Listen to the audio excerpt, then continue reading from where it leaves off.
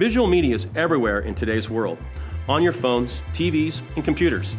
All those outlets need content, content you could be creating.